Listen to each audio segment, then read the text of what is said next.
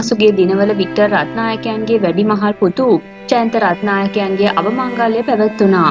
මේ අවමංගල්‍ය අවස්ථාවට තම වැඩිමහල් පුතුට අවසන් ගෞරව දක්වන්න වික්ටර් රත්නායකයන් පැමිණ නොසිටි පුවත මේ වන විට හැමෝම දන්නා කාරණාවක්. ඒ පිළිබඳව ජනප්‍රිය රූපවාහිනී නාලිකාවල පවා පළ වුණා.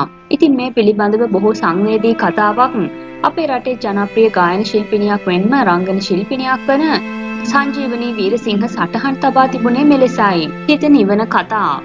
ආචාර්ය වික්ටර් රත්නායක නම් වූ ගාන්ධර්වයාට ආදරණීය පියතුමාට ගීලොවේ මගේ පියෙකු බඳු වූ ශ්‍රේෂ්ඨතමයාට බිඳකුදු අකාරුණික නොව මහත් වූ භක්ති ආදරයක් පෙරතරි කරගෙන සමාව අය දෙමින් වුවත් මේ ඔබේ නෙත ගැටෙන බව දන්නා නිසාම ලිවී යුතු දේ ලිවී යුතුම අවස්ථාවේදී ආදරයෙන් මෙසැයි ලියා තබමි. මිනිස්සුන් ආවේගශීලී වූ විට බොහෝ දේ කියයි කරයි. නමුත් දරුවන්ට අම්මා තාත්තහටත් අම්මා තාත්තට දරුවන් හටත් අත්‍යවශ්‍යම මොහොතේදී සමාව දිය නොහැකි කිසිම හේතුවක් මා නම් දන්නේ නැත. තමාගේ ලේ ධාතුවට පිටුපාන්නට කුමන අහංකාරකමක් ආන්‍යයක් හෝ කේන්තියක් තිබුණත් කළ හැක්කේ කාටද? දරුවන් සිටිනා මවක ලෙස හිතේ අපමණ බරක් දරාගෙන මේ සටහන තැබුවෙමි.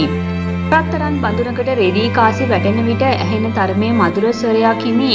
ජේෂ්ඨතම යානෙනි මේ ඔබගේ අතිශය පෞද්ගලික කරුණක් වුවත් ඔබ නම් අපිට මහාර්ග පොදු වස්තුවක් වන නිසාත් යමෙකු ඔබලාට දොස් පවරන විට මාත සංවේදී වන නිසාත් ඔබ වැනි පිය පුතුන් අපිටත් වටිනා නිසාත්.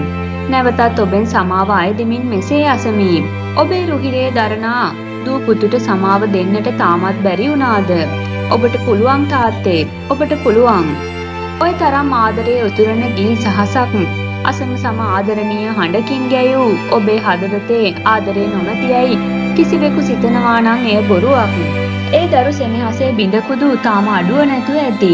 ඒ ආදරේ සෙනෙහස දාරක ප්‍රේමය තාවකාලික අඳුරු වලාවකින් පමණක් වැසී ගොස් ඇති ආදර ඇති පියේ දෙදෙනෙක් දැනටමත් සදහටම නිදු පියාගෙන අවසන්. තවකෙකු ඔබේ නමින් තවමත් හුස්ම ගනිමින් සිටී. ඒ නිසා තවත් පමා නොවෙන්න. මනුසත් කමේ නාමයෙන් දරු සෙනෙහස හඳුනන්නයක් ලෙස මම මෙසේ අයතිමි. ඔබේ හදේ කොතනක තවමත් සඟදී ඇති පිය ගුණය අවදි කරගන්න. සිය මවත් සොයිරියත් සෙවනැල්ලක් මඳ වූ සොයිරාත් අහිමිව අතරමං වූ පොඩි පුතුට කළ හෝ නොකළ වරදට සමාවදීමට තරම් ශ්‍රේෂ්ඨයකු වන්න. කුඩා කල පහරක් ගසා ඔහුගේ වැරදි හැදූ බැනුමක් වැනූ ඔහුට බත් කටක් කැවූ ඔබ ගී ගයන විට පිටුපසින් හිඳමින් සංගීතය සපයද්දී නිහඬව සතුටු ඒ ආඩම්බර කාර තාත්තා. ඔබ නොදන්නවා වුණාට තාමත් ඔහුට ආදරෙයි. ඔබ ගී කෙත අස්වැද්දූ ප්‍රභා සම්පන්න මහා පුරුෂයෙකි. සැබෑ ජීවිතයේ තෙසේ වුවහොත් මියගිය ඔබේ බිරිඳ සහ දරුවන්ගේ ආත්මවලට පමණක් නොව ඔබගේ පොඩි පුතුගේ දිවියේ ඉතිරි කාල සීමාවටත් අපමණ සැනසීමක් ලැබේවි.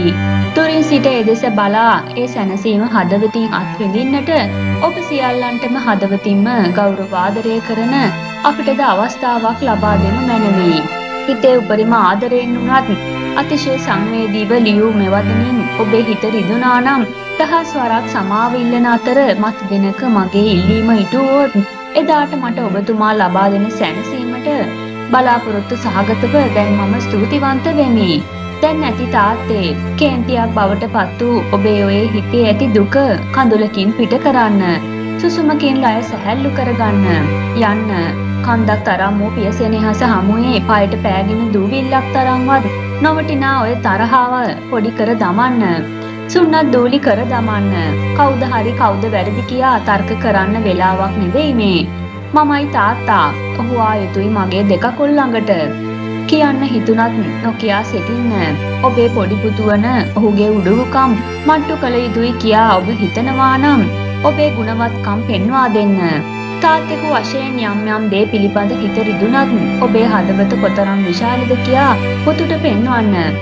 මේ සංවේදී අවස්ථාවේ ඔබේ දුක ඔබේ තරහා ඔබේ හැඟීම් දරාගන්න හදාගන්න වෙනස් කරගන්න. ඉතින් අඩමින් වුවත් මහා කේන්තියකින් වුවත් ඔබට පුළුවන්. ඒ ඔබ තාත්තා නිසාමයි. යන්න එදා වගේ අදත් පහරක් ගහන්න ආදරෙන් බනින්න ඇති තරම් කරුණාවෙන් කියන්න නොසඟවා ඔබේ හිතේ ඇති දුකත්. ඔබට වෙච්ච මදි පුංචිකම්. හැබැයි යන්න දෙවරක් නොසිතන්න. පාතලයට මුසු ඔබේරුව හඬ සහලේ දැරූ ලොකු පුතාගේ ප්‍රාණ සමදියනියගේ ආත්මය වෙනුවෙන් යන්න. යටහිතින් ඔබේ ආදරය අයදින පොඩිපුතු සමක දෙන්න පින් ඒ ආත්මවලට අහංකාරය පලවා හැර දෙන්න සමාව ඕනට තුරුළු කරගන්න පොඩිපුතුව ලයට නැතිනම් තාත්තේ පමා වැඩිවේවි හෙට දිනය. සංජීවනී වීරසිංහ දුවක් නොවන දුවක් ලෙසටයි ඇය මෙතරම් සංවේදීව සටහන් තබා තිබුණේ.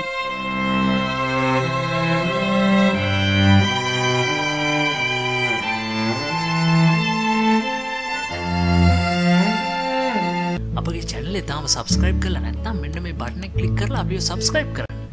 ඒවගේ මෙන්න මේ බෙල් බට්න ඇක්ටව් කළොත් අපේ චැනලට එකතුන්න නවතම් වීඩියෝ ගැන ඔබට එසනින් දැනගැනීම හැකයාව ලැබෙනවා.